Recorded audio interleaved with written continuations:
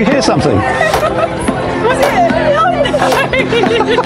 Two empty cups connected by a piece of string. With this, you can transmit your thoughts to your spectator. And even though you don't say a word, they will hear your message. Seen one of these? Like the telephone things. Like the telephone things, yeah. yeah. If you just take hold of that, yeah. Because if you take the lid off. Take, take it off? Take the lid off, yeah, we'll just done that. Okay. Um, so normally, I would talk to it to send you a secret message, wouldn't I?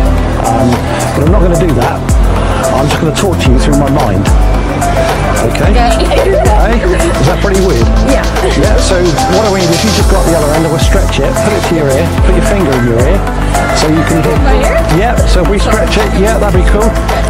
So just listen and see if you can hear anything. Think of your card.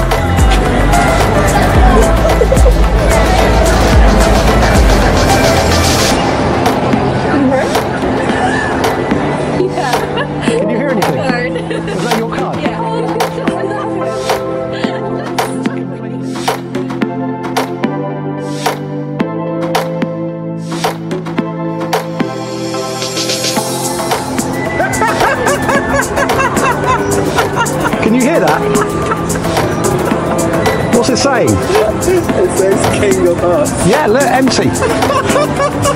empty. over and over again. Over and over again. Was that your card? yes, it was my The card. king of. and I didn't even speak. That's cheating. That's cheating. well done. Well done. I don't know how you did that, mate, but it Magic. It was good. All right, thank you for your time. Good. Thank you very much. All right, thank you. Thanks for your time. Thank you. Thank you. Enjoy the day. Have a good day. Okay, bye.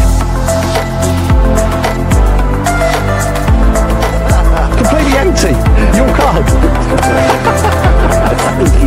Spooky. What was your card? Nine of diamonds. Nine of diamonds. Brilliant. Okay. Thanks for that. Cheers, mate.